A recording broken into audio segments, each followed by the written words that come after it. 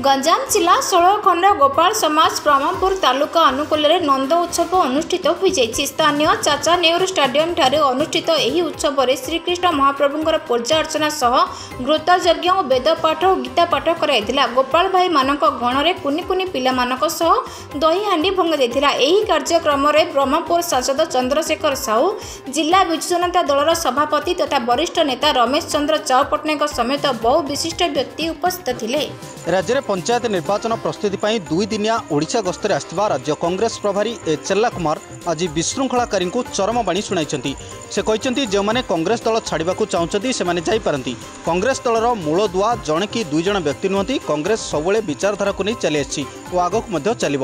ଦଳରେ ରହି କେହି ବିଶୃଙ୍ଖଳା କଲେ ବରଦାସ୍ତ କରାଯିବ ନାହିଁ। ସୋମବାର ଭୁବନେଶ୍ୱର ପହଞ୍ଚିବା ପରେ ଶ୍ରୀ ଚେଲ୍ଲା କୁମାର କହିଥିଲେ ଯେ କଂଗ୍ରେସ କାହା ପାଇଁ ଲଞ୍ଚିଂ ପ୍ୟାଡ୍ ନୁହେଁ। କଂଗ୍ରେସକୁ ଛାଡ଼ି କି ଗଲା ପରେ ମଧ୍ୟ ଅନେକ ଲୋକ ଦଳରେ ସାମିଲ ହୋଇଛନ୍ତି। ବ୍ଲାକମେଲ୍ ପଲିଟିକ୍ସ ଆଉ ଚଳିବ ନାହିଁ ସଂଗଠନକୁ ମଜବୁତ କରିବା ଲାଗି ଆଗକୁ ଜିଲ୍ଲା ଗସ୍ତ କରିବା ସହିତ ଜିଲ୍ଲା ସଭାପତିଙ୍କ ସହିତ ଆଲୋଚନା କରିବି। ବିଧାୟକ ତାରାବାହିନୀ ପ୍ରତି ମଧ୍ୟ କ୍ଷମା ମାଗିସାରିଛନ୍ତି। ତେଣୁ ଦଳରେ ଏବେ କୌଣସି ବିବାଦ ନାହିଁ। ଅପରପକ୍ଷେ ଗତ କିଛି ଦିନ ହେବ ପିସିସି ସଭାପତି ନିରଞ୍ଜନ ପଟ୍ଟନାୟକ ଓ ବିଧାୟକ ତାରାବାହିନୀପତିଙ୍କ ଭିତରେ ଚାଲିଥିବା ବିବାଦରେ ପୂର୍ଣ୍ଣଚ୍ଛେଦ ପଡ଼ିଛି। ପିସିସି ସଭାପତିଙ୍କୁ ଟାର୍ଗେଟ୍ କରୁଥିବା ତାରାଙ୍କ ସ୍ୱର ଆଜି ବଦଳି ଯାଇଛି।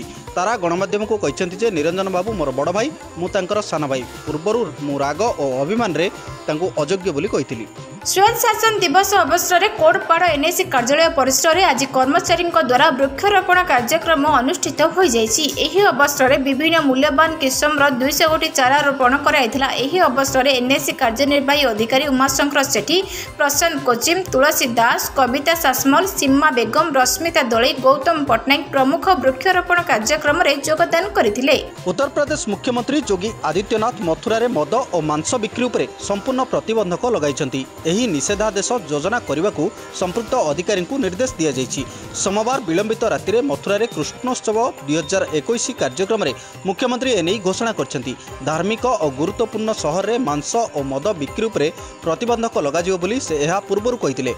ମଥୁରାର ଗର୍ବଗୌରବକୁ ପୁନର୍ଜୀବିତ କରିବା ପାଇଁ ଯେଉଁମାନେ ମଦ ଏବଂ ମାଂସ ବ୍ୟବସାୟରେ ନିୟୋଜିତ ଥିଲେ ସେମାନେ ଏଣିକି ଦୁଗ୍ଧ ବିକ୍ରି କରିପାରିବେ। କାରଣ ଏହି ରାଜ୍ୟ ବହୁ ପରିମାଣରେ ଦୁଗ୍ଧ ଉତ୍ପାଦନ ପାଇଁ ଜଣାଶୁଣା। ସେ କହିଛନ୍ତି ବ୍ରିଜ୍ ଭୂମିର ବିକାଶ ପାଇଁ ସମସ୍ତେ ପ୍ରୟାସ କରିବା ଉଚିତ। ଭଦ୍ରକ ସହରକୁ ସୌନ୍ଦର୍ଯ୍ୟକରଣ କରିବା ପାଇଁ ଆଜି ଆଇ ଲଭ୍ ଭଦ୍ରକର ଶୁଭ ଉଦ୍ଘାଟନ ହୋଇଯାଇଛି। ଭଦ୍ରକ ଜିଲ୍ଲାପାଳଙ୍କ କାର୍ଯ୍ୟାଳୟ ସମ୍ମୁଖରେ ସେଲ୍ଫି ପଏଣ୍ଟକୁ ଭଦ୍ରକ ସାଂସଦ ଓ ବିଧାୟକ ଉଦ୍ଘାଟନ କରିଥିଲେ। ଭଦ୍ରକ ସହରକୁ ସୌନ୍ଦର୍ଯ୍ୟକରଣ କରିବା ପାଇଁ ଭଦ୍ରକ ବିଧାୟକଙ୍କର ଏଭଳି ପ୍ରୟାସକୁ ସାଧାରଣରେ ସ୍ୱାଗତ କରାଯାଇଛି ଏହି ସେଲ୍ଫି ପଏଣ୍ଟକୁ ଯୁବକମାନଙ୍କୁ ଆକୃଷ୍ଟ କରିବା ପାଇଁ ଉନ୍ନତମାନର ଲାଇଟ୍ ସହ ଅତ୍ୟାଧୁନିକ ପ୍ରଣାଳୀରେ ଘାସ ଗାଲିଚା ଲଗାଯାଇଛି। ଭଦ୍ରକ ସହରକୁ କିପରି ସରସ ସୁନ୍ଦର କରାଯାଇପାରିବ ସେ ନେଇ ଧୀରେ ଧୀରେ ସମସ୍ତ ପ୍ରକଳ୍ପଗୁଡ଼ିକ କାର୍ଯ୍ୟକାରୀ କରାଯାଉଛି ଏବଂ ଆଗାମୀ ଦିନମାନଙ୍କରେ ଅନେକ ପ୍ରକଳ୍ପ ହାତକୁ ନିଆଯିବ ବୋଲି ଭଦ୍ରକ ବିଧାୟକ କହିଛନ୍ତି। ଏହି ଉଦ୍ଘାଟନ କାର୍ଯ୍ୟକ୍ରମରେ ବହୁ ଜନସାଧାରଣ ଯୋଗ ଦେଇଥିଲେ। ଇଲେକ୍ଟ୍ରୋନିକ୍ସ ମାଧ୍ୟମରେ ଆୟକର ପୈଠ କରିବାରେ ଟିକସଦାତାମାନେ ସମସ୍ୟା ସାମ୍ନା କରୁଥିବାରୁ ଆୟକରର ବିଭିନ୍ନ ଫର୍ମ ଦାଖଲର ଅବଧିକୁ ପୁଣି ଥରେ ବୃଦ୍ଧି କରାଯାଇଛି। ଏନେଇ କେନ୍ଦ୍ରୀୟ ପ୍ରତ୍ୟକ୍ଷ କର ବୋର୍ଡ ପକ୍ଷରୁ ସୂଚନା ଦିଆଯାଇଛି।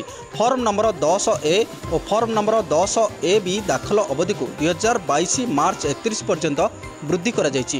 ଫର୍ମ ନମ୍ବର ଏକ ଫର୍ମ ନମ୍ବର ପନ୍ଦର ସି ସି ଫର୍ମ ନମ୍ବର ପନ୍ଦର ଜି ବାଇ ପନ୍ଦର ଏଚ୍ ଫର୍ମ ଦୁଇ S W S form number ଦଶ B B B form number ତିନି C A S form number ତିନି CE A D O form number ତିନି ସିଏସ୍ସିର electronic ମାଧ୍ୟମରେ ଦାଖଲ କରିବାର ଅବଧିକୁ ଚଳିତ ବର୍ଷ ଡିସେମ୍ବର ଏକତିରିଶ ପର୍ଯ୍ୟନ୍ତ ବୃଦ୍ଧି କରାଯାଇଛି।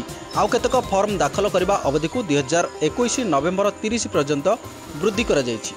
ଆସନ୍ତାକାଲି ବିଧାନସଭା ମୌସୁମୀ ଅଧିବେଶନ ଆରମ୍ଭ ହୋଇଛି। ଏଥିରେ ଅଧିବେଶନ ବେଶ୍ ସରଗରମ ହେବା ସମ୍ଭାବନା ରହିଛି। ଅଧିବେଶନରେ ନୂଆ ନୂଆ ପ୍ରସଙ୍ଗ ଉଠିପାରେ। ବିଭିନ୍ନ ପ୍ରସଙ୍ଗରେ ସରକାରଙ୍କୁ ଘେରିବାକୁ ବିରୋଧୀ ପ୍ରସ୍ତୁତି ହେଉଛନ୍ତି। ସେହିପରି ବିରୋଧୀଙ୍କୁ ଜବାବ ଦେବା ପାଇଁ ସରକାର ମଧ୍ୟ ପ୍ରସ୍ତୁତି ହେଉଛନ୍ତି। ଅଧିବେଶନ ପୂର୍ବରୁ ଆଜି ବିଜେପି କଂଗ୍ରେସ ଓ ବିଜେଡି ବିଧାୟକ ଦଳର ବୈଠକ ବସିବ। ଏଥିରେ ରଣନୀତି ପ୍ରସ୍ତୁତି କରିବେ ସମସ୍ତ ରାଜନୈତିକ ଦଳ। ତେବେ ଏହା ପୂର୍ବରୁ ବିଧାନସଭା ପରିସରରେ ତ୍ରିସ୍ତରୀୟ ସୁରକ୍ଷା ବ୍ୟବସ୍ଥା କରାଯାଇଛି। ଏଥି ପାଇଁ ତିରିଶ ପ୍ଲାଟୁନ୍ ପୋଲିସ ଫୋର୍ସ ସହ ଶହେ କୋଡ଼ିଏ ଜଣ ଅଫିସରଙ୍କୁ ମୁତୟନ କରାଯାଇଛି ନିଜେ ପୋଲିସ କମିଶନର ପହଞ୍ଚି ସୁରକ୍ଷା ବ୍ୟବସ୍ଥା ଯାଞ୍ଚ କରିଛନ୍ତି। ପୋଲିସ ଡିଜି ମଧ୍ୟ ବିଧାନସଭାରେ ପହଞ୍ଚି ସୁରକ୍ଷା ବ୍ୟବସ୍ଥାର ଯାଞ୍ଚ କରିବାର କାର୍ଯ୍ୟକ୍ରମ ରହିଛି।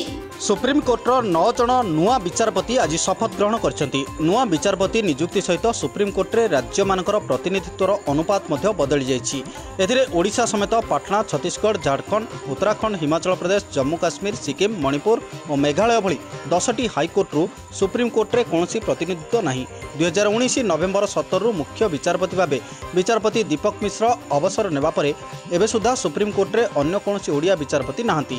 ନିଯୁକ୍ତି ନଅ ଜଣ ନୂଆ ବିଚାରପତିଙ୍କୁ ମିଶାଇ ସମ୍ପ୍ରତି ସୁପ୍ରିମକୋର୍ଟରେ ବମ୍ବେ ଓ ଦିଲ୍ଲୀ ହାଇକୋର୍ଟରୁ ସର୍ବାଧିକ ଚାରି ଜଣ ଲେଖାଏଁ କର୍ଣ୍ଣାଟକ ଗୁଜରାଟ ଆନ୍ଧ୍ରପ୍ରଦେଶ ଓ ଆହ୍ଲାବାଦ ହାଇକୋର୍ଟରୁ ତିନି ଜଣ ଲେଖାଏଁ କେରଳ ରାଜସ୍ଥାନ ପଞ୍ଜାବ ଏବଂ ହରିୟାଣା ଓ ମାଡ୍ରାସ ହାଇକୋର୍ଟରୁ ଦୁଇ ଜଣ ଲେଖାଏଁ ମଧ୍ୟପ୍ରଦେଶ ତେଲେଙ୍ଗାନା ଓ ଗୌହାଟୀ ହାଇକୋର୍ଟରୁ ଜଣେ ଲେଖାଏଁ ପ୍ରତିନିଧିତ୍ୱ କରୁଛନ୍ତି। ନବରଙ୍ଗପୁର ଜିଲ୍ଲା ରଇଘର ବ୍ଲକ ଅଫିସ ନିକଟରେ ମାଓ ଲିଫ୍ଲେଟ୍ ରାସ୍ତା ଉପରେ ବିଛାଯାଇଛି ଶତାଧିକ ଲିଫ୍ଲେଟ୍ ଝରିଗାଁ ବ୍ଲକ ତେଲନଦୀ ଉପରେ ପ୍ରସ୍ତାବିତ ଡ୍ୟାମ୍କୁ ବିରୋଧ କରିଛନ୍ତି ମାଓବାଦୀ ଏବଂ ବିଦ୍ୟୁତ୍ ସେବା ଯୋଗାଇ ଦେବାରେ ବିଫଳ ହୋଇଥିବା ଟାଟା ପାୱାରର ମନମୁଖୀ କାର୍ଯ୍ୟ ପ୍ରତି ଅସନ୍ତୋଷ ପ୍ରକାଶ କରାଯାଇଛି କେନ୍ଦ୍ର ଓ ରାଜ୍ୟ ସରକାର ନବରଙ୍ଗପୁର ସାଂସଦ ରମେଶ ମାଝୀ ଓ ଝରିଗାଁ ବିଧାୟକ ପ୍ରକାଶ ମାଝୀଙ୍କ ସାଂସଦ ପ୍ରତିନିଧିଙ୍କ ବିରୋଧରେ ଆନ୍ଦୋଳନ କରିବା ପାଇଁ ମାଓବାଦୀଙ୍କ ପକ୍ଷରୁ ଲିଫ୍ଲେଟ୍ ଗୁଡ଼ିକରେ ଆହ୍ୱାନ କରାଯାଇଛି ଏଥିପୂର୍ବରୁ ରାୟଗଡ଼ ବ୍ଲକରେ ମାଓବାଦୀମାନେ ଉପାନ୍ତ ତଥା ସୀମାନ୍ତ ଅଞ୍ଚଳରେ ମାଓ ପୋଷ୍ଟର ବ୍ୟାନର ମାରି ଆସୁଥିବା ବେଳେ ଏବେ ମୁଖ୍ୟ ଦପ୍ତରରେ ଏଭଳି ପୋଷ୍ଟର ଓ ଲିଫ୍ଲେଟ୍ ପୁଲିସକୁ ଖୋଲା ଚ୍ୟାଲେଞ୍ଜ ଦେଇଛି।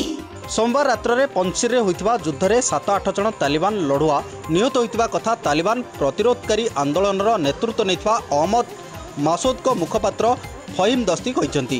ଦସ୍ତି କହିଛନ୍ତି ଆଫଗାନିସ୍ତାନରେ ପଞ୍ଜିର ତାଲିବାନ ବିରୋଧରେ ଶେଷ ବିରୋଧ ପ୍ରଦର୍ଶନ କରୁଥିବା ପ୍ରତିରୋଧକାରୀ ଫୌଜ ଉପରେ ସୋମବାର ରାତ୍ରରେ ତାଲିବାନମାନେ ଆକ୍ରମଣ କରିଥିଲେ।